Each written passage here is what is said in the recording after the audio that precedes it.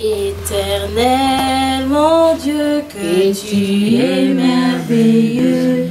Tu m'as tant aimé en donnant ton cher Fils. Merci Seigneur.